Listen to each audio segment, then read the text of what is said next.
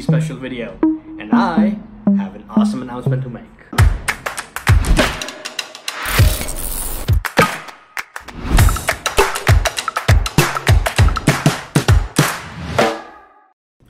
Hello everyone and welcome to my YouTube channel. This is a relatively new channel which is aimed at showcasing my adventures as I tread through this journey of life through some amazing and some not so amazing situations. This looks closed at the moment, which is not a good sign. Perfectly balanced, as all things should be.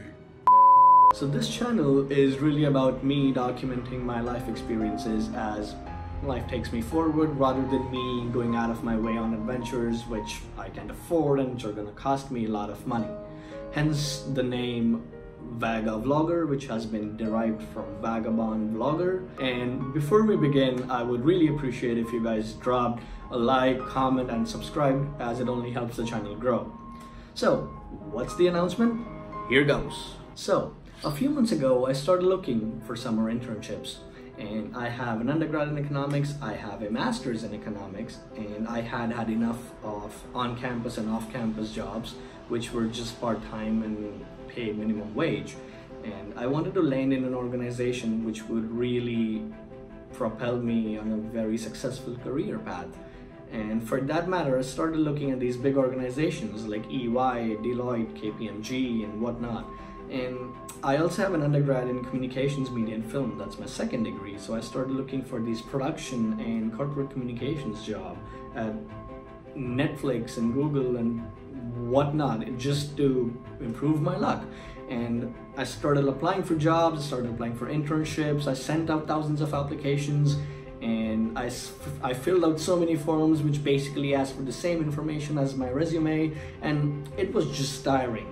And I did manage to receive two interviews which I quickly converted into offers but now the dilemma was did I really want to take those two offers which were which I wasn't really happy about? And I wasn't just re I didn't really care for them so I went back and I rejected those offers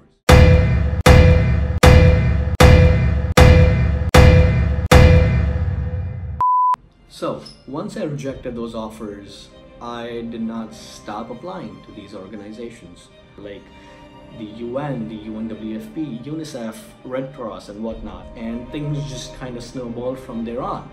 And over the period of next five months, I gave four to six interviews. I just prepped hard. I kept reading all the material I could get my hands on, the corporate results framework, the policies, the documents that all these UN organizations had released, and I tried to study as much as I could about the unit or that I was interviewing with because UN as a whole is a very bureaucratic organization, as we all know, and there are so many layers to it that you are working in a unit. So, what really helped me was knowing everything that there was to know about the unit, and I tried to get as much information as it was available in the public domain. And I kept on working and giving interviews and interviews and interviews until one day I received this email.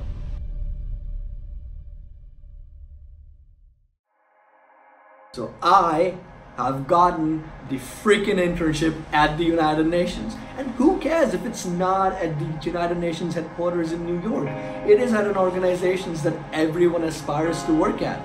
And I got in. And I'm so super happy to share this news with all of you guys across the internet.